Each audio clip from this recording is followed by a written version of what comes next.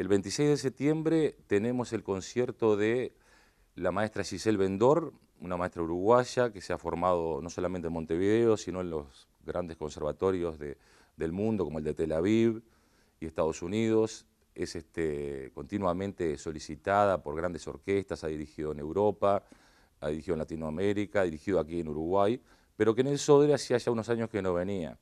Este año se da la particularidad que tenemos por segunda vez una maestra mujer en la temporada. Tuvimos al principio del año a Alicia Madio, la brasilera, que tuvo un excelente concierto, y ahora tenemos la suerte de tener a, Giselle entre nosotros. Eh, hace un programa maravilloso porque comienza con la Bajiana número 2 de Villalobos,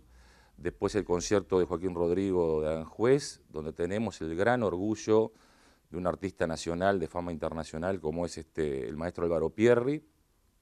y termina con la Sinfonía número 9 de Borjak, eh, llamada también Nuevo Mundo.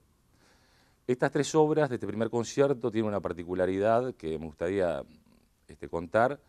Las bajianas fueron escritas por el maestro Villalobos y fueron nueve, y llevan el nombre de bajianas porque él era un gran admirador del compositor barroco Johann Sebastian Bach, este, con lo cual buscó que no fueran tocadas las nueve de continuo, no se, no se necesitaba que fueran tocadas las nueve de continuo, sino que este, buscó em, fusionar el estilo de folclore brasilero con su admirado compositor que era Bach.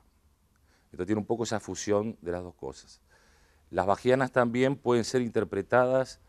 em, con diferentes formas eh, orquestales, desde una orquesta sinfónica, una orquesta de cámara o pequeños conjuntos instrumentales como tríos, cuartetos, quintetos.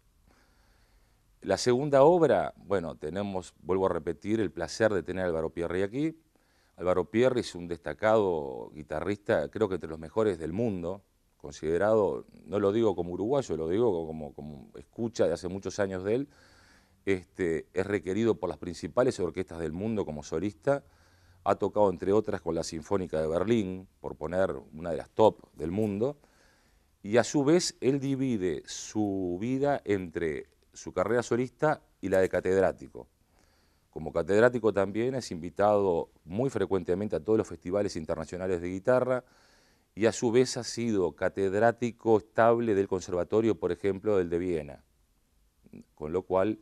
nos marca la, gran calidad que tiene este, no solamente por su técnica, sino por sus interpretaciones, que son lo que lo han sido ha sido que lo han llamado de varios este, sellos discográficos para grabar todo el, vasto repertorio que hay para guitarra. Este concierto Aranjuez tiene en el, adagio, son tres movimientos,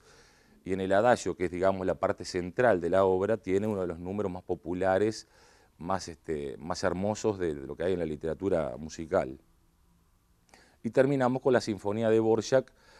que es la Nuevo Mundo, que es una obra hermosísima y que tiene la particularidad que la terminó de escribir Borjak en su estadía en Estados Unidos.